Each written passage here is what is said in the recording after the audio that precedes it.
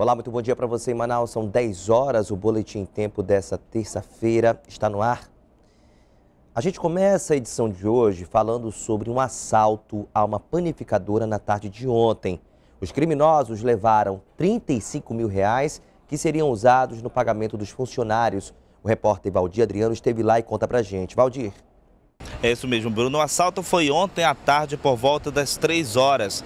Os assaltantes, que eram dois, chegaram aqui ao local em uma motocicleta e logo renderam funcionários. No total, sete pessoas foram feitas reféns e durante esse período que elas foram, ficaram reféns, elas foram agredidas fisicamente pelos assaltantes. Eles queriam roubar uma quantia em dinheiro referente ao pagamento dos funcionários que seria efetuado ontem. A todo momento, um dos assaltantes estava conversando no telefone com um terceiro comparsa, que até o momento não foi identificado.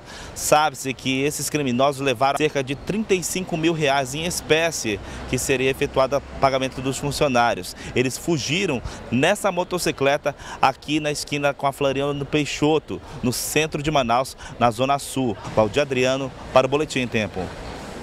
Que absurdo, né? A gente sai de Manaus e vai até Parintins porque a polícia prende dois homens e apreende uma arma de fogo. Já um homem que vinha realizando assaltos no centro também foi preso. Detalhes com Tadeu de Souza. Aqui na terceira delegacia interativa, dois homens. Eles foram presos e estavam armados. Um deles estava com uma bereta calibre 3.5. Sebastião Neves Jacaúna, 46 anos, se envolveu numa briga numa conveniência num posto de gasolina no centro da cidade com Lindomar Costa Soares, 22 anos. Durante a briga, Sebastião sacou uma arma. A polícia foi chamada ao local e conseguiu prender os dois e apreender a arma, uma bereta 3.5 com sete munições intactas. Adriel de Souza Farias, 22 anos, estava realizando assaltos nas proximidades de uma churrascaria no centro da cidade, quando foi preso por uma guarnição da Força Tática. Dos cinco aparelhos celulares que o mesmo havia tomado das vítimas, a polícia conseguiu recuperar apenas um aparelho. Ele será ouvido pelo delegado Adilson Cunha e encaminhado para a unidade prisional de Parintins. Eram esses os destaques de polícia aqui da Ilha Tupinabarana. De Parintins, Tadeu de Souza para o Boletim em Tempo.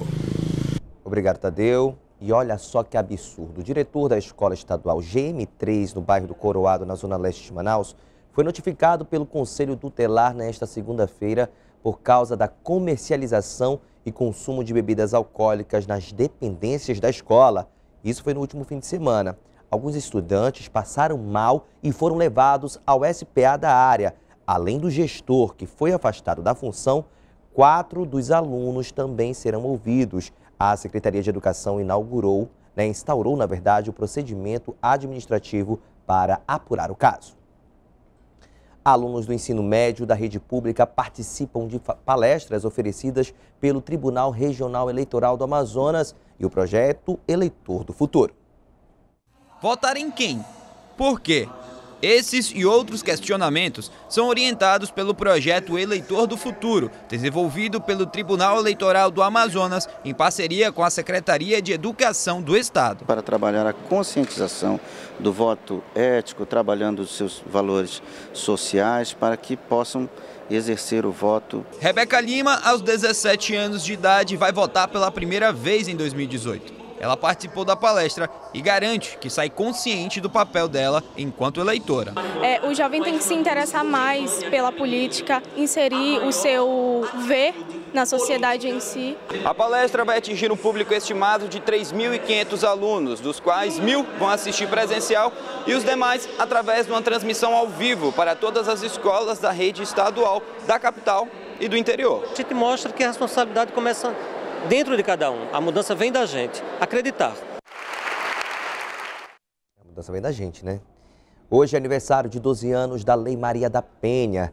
Dados divulgados pela Secretaria de Segurança são preocupantes. O Amazonas registrou 7.458 casos de violência doméstica contra mulheres.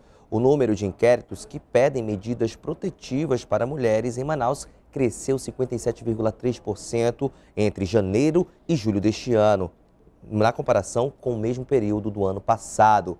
Pelo menos 2.000, pelo menos 2.500 mulheres enfrentam situação de violência doméstica. Elas foram atendidas pela Justiça.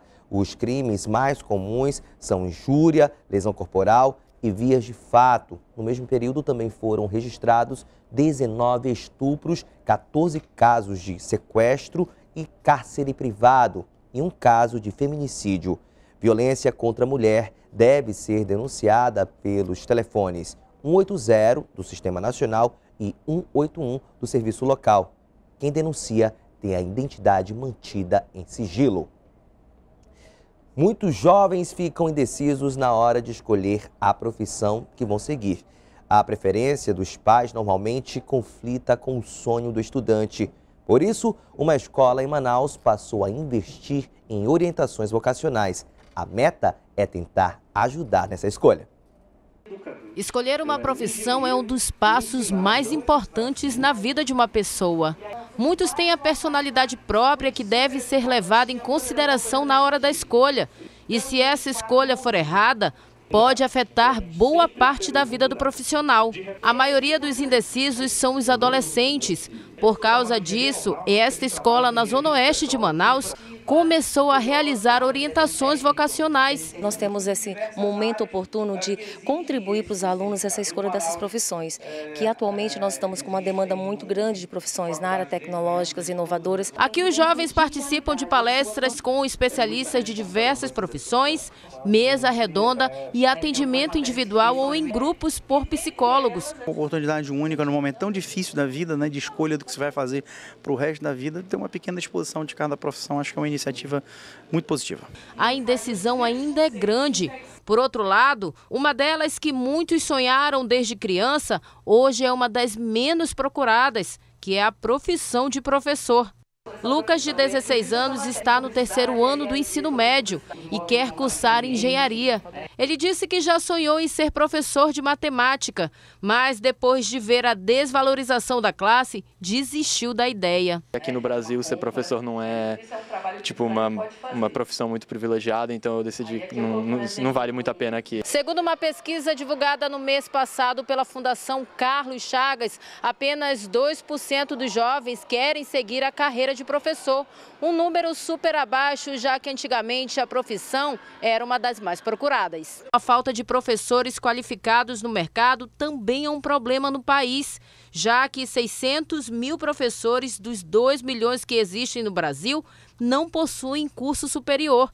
Mas, apesar da desvalorização e da falta de estrutura, sem os professores, a educação não transforma a sociedade. Verdade. E às 10h50 é hora do programa da comunidade. O Agora com ela, Márcia Lasmar, que já está no estúdio do programa. Muito bom dia, Márcia. Cadê a Márcia Lasmar? Tudo bem, Márcia? Tudo bem, Bruno? Bom dia para você. Bom dia, quais são os destaques do programa de hoje? Olha, a gente vai trazer hoje no nosso programa da comunidade, terça-feira, né? Tem premiação, tem o nosso agora. E antes da gente falar disso, a gente vai trazer a, a acidente de trânsito e um acidente de trânsito gravíssimo, que acabou tirando a vida de um batedor do Exército. Ele estava ali fazendo uma escolta no momento de trabalho, quando um ônibus desviou de um coletivo, de um pedestre. E nesse desvio do pedestre, ele acabou sendo atingido por esse ônibus e ele caiu na sarjeta e acabou morrendo. É destaque que a gente vai trazer desses cuidados, mais uma vez, que reacende aí uh, os perigos no nosso trânsito. Ele estava trabalhando, estava fazendo uma escolta do Exército e, infelizmente, acabou morrendo. A gente também vai lá, sai da Zona Sul, que foi onde aconteceu esse acidente de trânsito aí, que levou a vida do batedor da, do Exército, e vai para a Zona Leste, onde uma outra morte aconteceu, dessa vez com características de execução. Nada a ver com trânsito. O homem estava andando com outros amigos na rua quando foi abordado e foi alvejado. Ele acabou falecendo, foi na zona leste da cidade, você está acompanhando as imagens aí. Ele caminhava com duas pessoas, o carro parou e efetuou disparos contra mais essa vítima aí. Claro que a gente percebe que tem, infelizmente, é, uma característica muito marcante de acerto de contas por causa do tráfico de drogas é destaque que a gente vai trazer no nosso programa a partir das 10h50. Hoje é terça-feira, hoje tem Rodrigo Hidalgo no Manaus Selvagem e o Rodrigo hoje traz pra gente a história da cobra Suaçuboia. Eu espero que eu esteja dizendo certo o nome da cobra. Ela que é prima da jiboia e da supri. Presta atenção só na história do Rodrigo. Lá vem Rodrigo com história de cobra de novo aqui no nosso Manaus Selvagem, mas ele sempre conta uma história bem legal pra gente. Tomara que não traga nenhuma para a gente poder é, ver aqui, porque de vez em quando ele traz os bichinhos que ele fala aqui para o nosso estúdio, né? Tudo certificado, autorizado, claro que dentro da, da, da legislação, dentro do que determina ah, os critérios aí de regulamentação para a gente poder manusear esses bichos. Mas o, o Rodrigo vem hoje e vai falar sobre a cobra suaçuboia. Hoje tem ingresso de cinema, hoje tem agora premiado com a importadora Três Elefantes, um novo conceito de maquiagem, vai ter kit para quem está assistindo o nosso programa da comunidade e tem a sua participação, é claro. Tudo isso e muito mais a partir das 10h50. Bruno. Obrigado, Márcio. Bom programa para você e para toda a equipe. Bom dia. Bom dia para você. Muito obrigada. São 10 horas e 11 minutos. O Boletim Tempo fica por aqui para você. Um excelente dia. A gente volta a se encontrar amanhã.